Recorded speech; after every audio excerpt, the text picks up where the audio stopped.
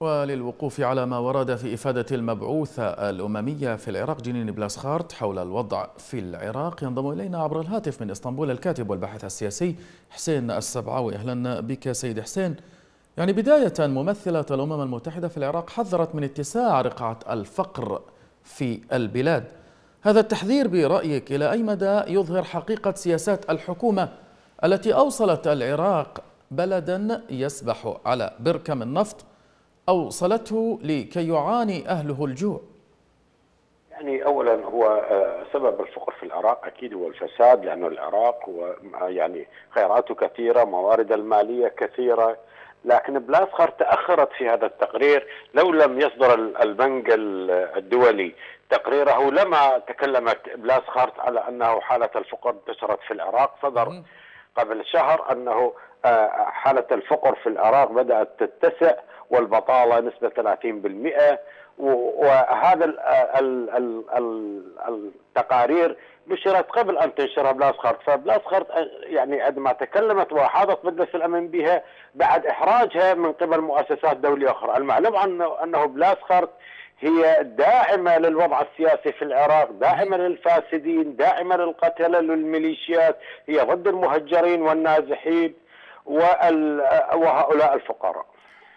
بلاسخرت أيضا حذرت سيد حسين بالتزامن مع تقرير منظمة الأغذية العالمية من نقص الغذاء الذي صدر أمس حذرت من أزمة جفاف حادة. لماذا لا تطالب الحكومة في بغداد بحقوقها التاريخية من المياه من إيران التي تنهب حصص العراق المائية؟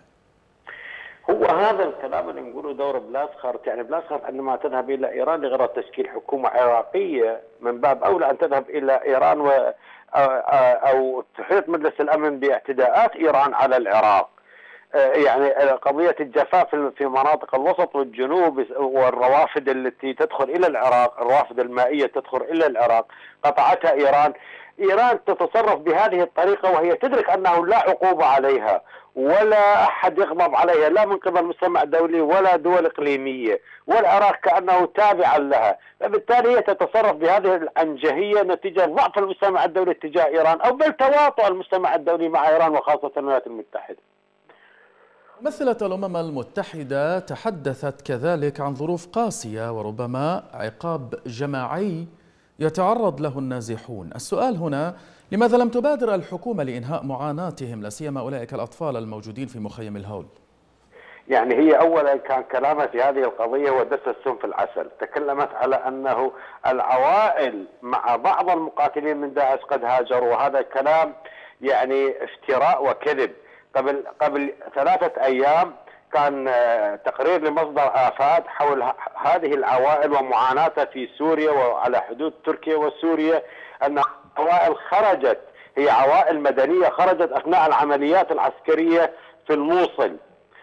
في إشارة لتقريرها أنه هذه العوائل لماذا الأطفال يتحملون مسؤولية آبائهم وكأنما آبائهم متهمين نعم. هذا الكلام لن يتخلص الشعب العراقي من هذه الازدواجية التي تصدرها ممثلة الأمم المتحدة هي كانت أيضا اتهام مبطل لهؤلاء النازحين هؤلاء النازحين هم نعم. ناس مدنيين أبرياء خرجوا نتيجة المعارك وحوصروا في هذه المناطق فمنهم من ذهب إلى مخيم الهول ومنهم من على حدود الشرقية من سوريا وقصف الجنوب السوري. نعم.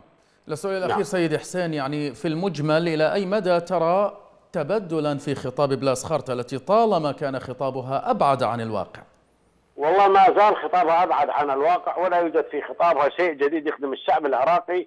هي خادمة للعملية السياسية وأقطابها في العراق وأحزابها. هي لم تخدم الشعب العراقي وما زالت على طريقتها القديمة. لم يتغير شيء من خطابها بدليل أنها لم تنقل معاناة الشعب العراقي عن المهجرين، لم تتكلم عن المقابر الجماعية، عن المعتقلين، على الانتهاكات داخل السجون العراقية ويقتل الناس الأبرياء، هي كل هذا لم تتكلم عنه، فلهذا السبب هي لم تغير شيء من خطابها اطلاقا.